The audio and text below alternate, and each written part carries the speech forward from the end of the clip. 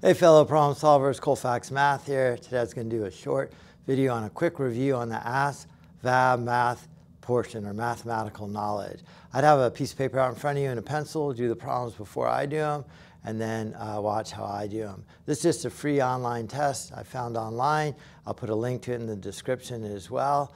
And this isn't to teach you the math, it's just a quick review to get an idea of some of the problems on the military placement exam, the ASVAB. Question number one right here is just a check on your mathematical knowledge of exponents. If the bases are the same and you're multiplying them together like this, then you add the exponents. So 6 plus 5 is 11. So the correct answer is C. Um, because the bases are the same and the rule of exponents is you add.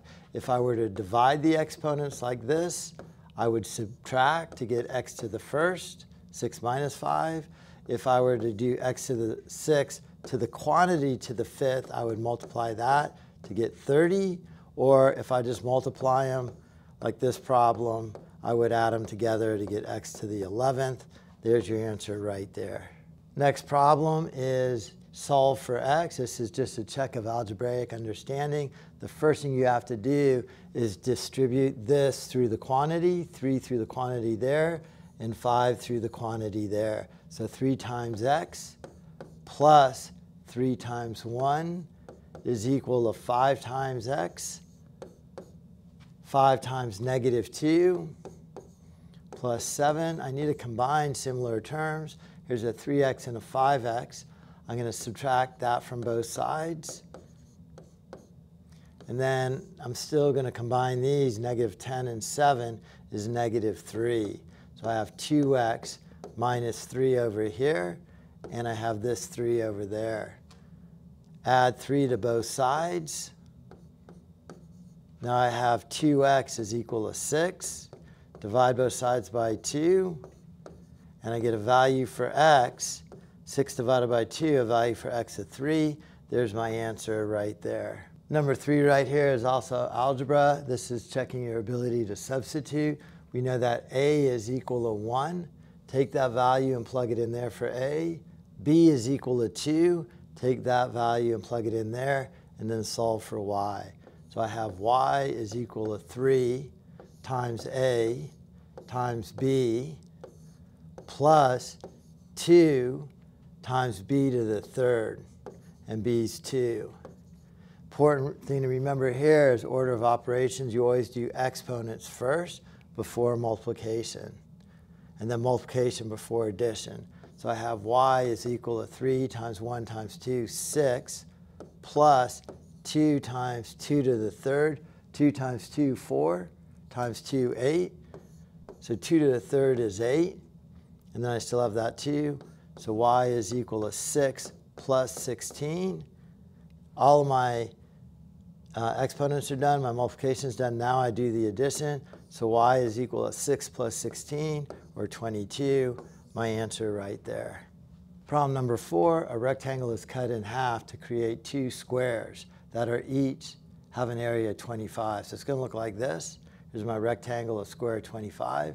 Because it's 25, that means this is 5 and 5 to give me an area 25, and this one's 5 and 5 to give me the area of 25. So I got to know area here. I got to be able to kind of spatially put it together, and then I also need to know perimeter. That's the distance around the outside. So I have 10 plus 5 plus 10 plus 5, or 30. And there's my correct answer there. Okay, problem number five. 44 is 80% of what number? So I have a number I take 80% of that number and I end with 44. So what I need to do here is I need to take that 44 and divide it by 0.8. So 0.8 goes into 44. Doesn't look like a 4. It goes into 44. Divide here, I move the decimal over 1. I move it over here 1. 8 goes into 44 five times to give me 40. 4 minus 0, bring down the 0, 8 goes into 45 times. So the answer is 55. 55 times that 80% gives me 44. Number six, this is an expression, not an equation. There is no equal sign, so I just have to simplify it. Again, I need to know order of operations, parentheses first, then exponents, multiplication, division, addition, subtraction, left to right. So I got to do this first. That's really the check, my parentheses. So I have 26 minus 7. 3 plus 5 is 8, divided by 4 plus 2. So now I go left to right, multiplication and division first. So I have 26 minus 7 times 8 minus 56 divided by 4 plus 2. I then do the division. 56 divided by 4 is 28, and then 28 cut in half is 14. So I have 26 minus 14 plus 2. 26 minus 14 is 12. 12 plus 2 is 14. There's my correct answer right there. Problem number seven right here, we have four different numbers and you're asked to find which number is greatest, but we have fractions and decimals, so to compare numbers, they should all be the same. So let's go to decimals with all of them. 2 divided by 3 is 0.666 or 0.67. 0.6 is less than that, so we could cross that one out. Not too sure where that one is. Um, we're going to have to multiply that one out. 0.08 is a really small number. So this is the largest one so far. And we've got to compare it to that one. So we're going to go 22 in a 13. What doesn't go in a 13, so we're going to add a 0 on there. 22 in a 130 is 5. 6 would be 120, 132. So it'd have to be a 5. And I don't have to go any further than that because 0.67 is larger than that. So 0.67 is our two-thirds, and A is our correct answer. Okay, problem number eight, in the figure below, lines D and F are parallel, and they're cut by this transversal, and you're given those angles, trying to find the measure of angle X. It's kind of a hard problem. Probably just starting to write in whatever you could figure out. So if that's 35 degrees, this is 35 degrees vertical angles. If this is 120, this is its supplement at 60. Now that I have that, I could actually see a triangle right here. And I have two angles in a triangle. So I need to find the third angle in a triangle. All three angles add up to 180. So if I do 180 minus a 35 minus a 60 degrees, um, 180 minus 95 will leave me with 85. And the correct answer is 85 degrees for that angle there. Number nine is kind of intimidating and it looks like a lot of things, but it's really just simplifying and combining similar terms. The one tricky part on this is to distribute that negative through the whole quantity. So I have that 7y squared plus 3xy minus 9 minus 2y squared minus 3xy minus minus or plus 5. I can only combine similar terms. So I have 7y squared and negative 2y squared, which will give me 5y squared. Then I have 3xy minus 3xy. Those will cancel each other out. Minus 9 plus 5 is minus 4. I can't um, simplify any further than that, and it's going to be answer A. Problem 10 right here is scientific notation. I have 6.6 times 10 to the negative fourth. That means that decimal place is going to go over 1, 2, 3, 4. So there's a decimal place. I'm going to fill this in with zeros. And I could see I have 0.00066, so three zeros. So it's answer B right here. Problem 11, what is the value of this square root?